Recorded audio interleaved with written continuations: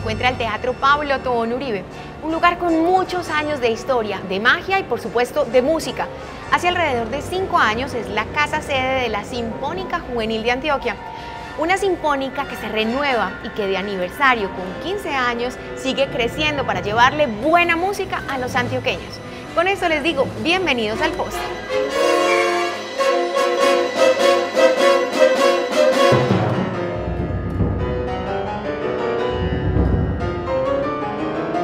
La Sinfónica Juvenil de Antioquia es legado de la Sinfónica de Antioquia, que se extinguió como tal en 1991, pero que a través del sonido de los instrumentos, del empeño, la dedicación y el cuidado de estos jóvenes, su memoria no se ha borrado y en las mentes, los corazones de muchos aún sigue vigente.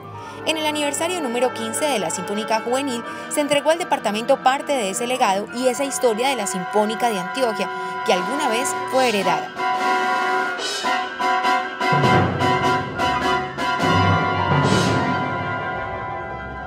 Las partituras, que fueron 1500 partituras, hacen parte de nuestro archivo musical. Los instrumentos pues se utilizaron hasta que ya no daban para más, hasta que ya no sonaban más. Y la historia siempre estuvo guardada.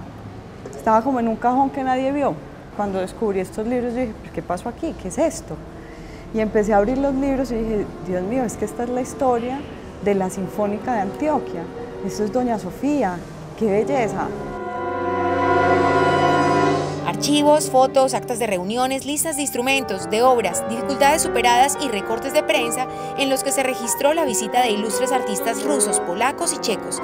Estas memorias que una vez pertenecieron a doña Sofía Chavarría, hija de don Alejandro Chavarría y fundadora de la Sinfónica de Antioquia, harán parte del patrimonio histórico del departamento y la entrega marca el inicio de una nueva era de esta música en Antioquia, en la que se busca acercar cada día más a nuevos públicos a la música que alimenta el alma.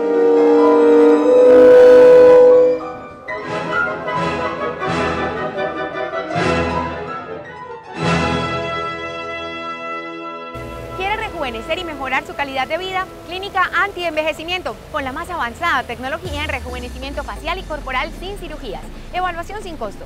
444-8354.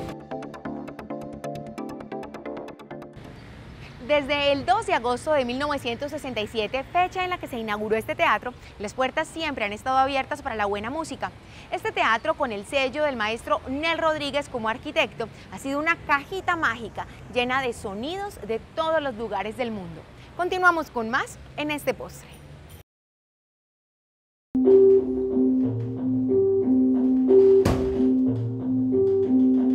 Siguiendo con celebraciones, conmemorar los 450 años del nacimiento de William Shakespeare, uno de los más célebres dramaturgos de la literatura universal, en el Teatro Hora 25 con el estreno de Hamlet en los tiempos del ruido, bajo la dirección de Farley Velázquez. Viejos que siembran flores en el fango. Nuestra gran intención es que el público venga a encontrar en un clásico el hombre actual.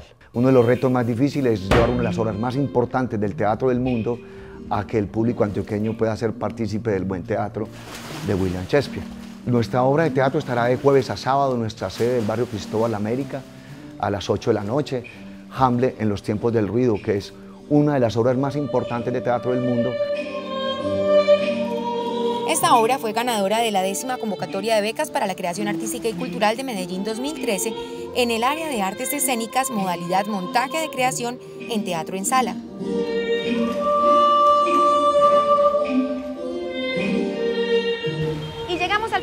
Postre con una invitación.